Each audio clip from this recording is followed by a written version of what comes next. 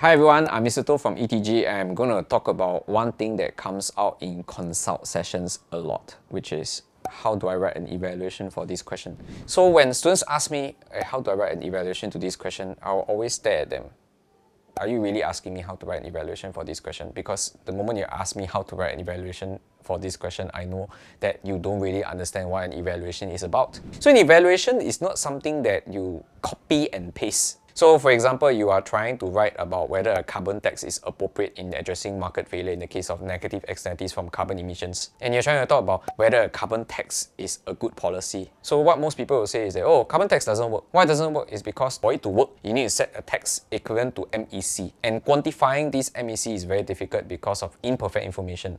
So guess what? That's what everybody writes. So the moment everybody writes, it becomes a standard evaluation. So if it's a standard evaluation, then you're going to get one, two marks for evaluative marks. Then you ask me, hey, why, why am I getting one or two marks or five marks for evaluation? So there are actually many things that you can evaluate about a policy. I'm going to give you a few examples to show how multi-dimensional uh, an evaluation can get. So for example, if I were to be talking about how difficult it is to quantify MEC, I could talk about, hey, climate change means uh, polar ice caps will melt. Polar ice cap melt means that flooding will cause people to die. How do I quantify the cost of deaths? How do I calculate how much of the number of people who die because of flooding that occurs is really due to climate change. So if these are things that are hard to quantify, we explain it. We explain why is it hard to quantify the MEC. Then beyond just talking about a information failure occurs in the case of carbon taxes, we could also talk about things like carbon leakage. If I implement carbon tax in this country, then firms leave, they go elsewhere to pollute. Then we have this thing called carbon leakage where firms, they pollute somewhere else. The total carbon emissions in the global climate is still the same. Then what's the point of implementing carbon taxes? It only causes